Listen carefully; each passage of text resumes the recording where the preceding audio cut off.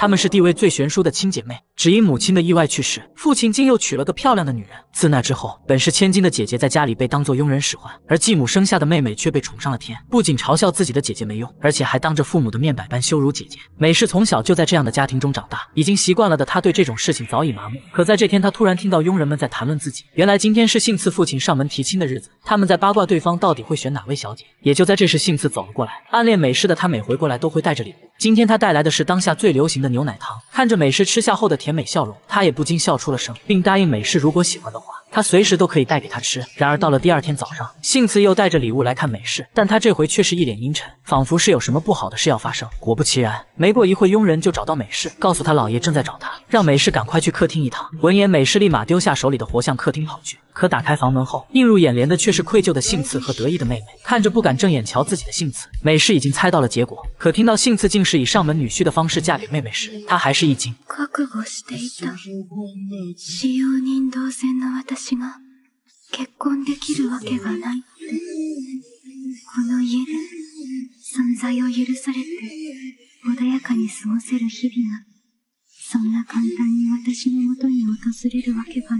私が結婚できるわけがない。この家で存在を許されて穏やかに過ごせる日々が、そんな簡単に私のもとに訪れるわけがない。也就在这时，父亲竟说要把美世嫁给九堂，这让妹妹都是一阵幸灾乐祸。因为据说九堂为人冷酷无情，他此前的未婚妻无一例外都被吓跑了。所以他很期待姐姐能在九堂家坚持多久。离开客厅后，美世撑着伞来到一棵木桩旁边，这里种的本是母亲的樱花树。每当她灰心丧气时，美世都会来这里找到些许的安宁。也就在这时，幸次淋着雨走了过来，他是来向美世道歉的。可美世却让他不用道歉，因为他觉得自己只是时运不济而已。 或许嫁出去后就能过上幸福的日子。说完，美世转身要走，幸次还想挽留，不过一旁却传来了妹妹香耶的声音，这让懦弱的他又不得不闭上了嘴。到了第二天，美世带着自己的行李走出了家门，路上她回想起了母亲还在的时候。自己每天都过得很开心，但母亲去世后，父亲很快就为他找了个继母，并且还有了孩子。自那之后，美世总是会受到继母的责骂，就连年幼的妹妹都不把她当人看。更过分的是，就连母亲的樱花树也被砍掉。回忆着过往的一幕幕，美世很快来到了九堂家的宅邸，迎接她的是一位和善的老佣人。看着对方热情的笑容，美世有些不知所措。她像平时一样毕恭毕敬地向九堂家主问好，可九堂却没有回应。就这样，美世在原地躬身了好久，直到佣人告诉她不用这样，美世才缓缓抬头。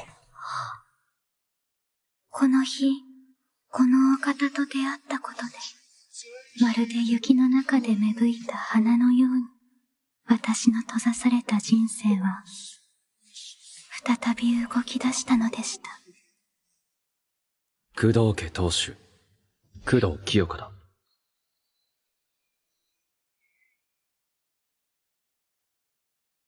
綺麗な、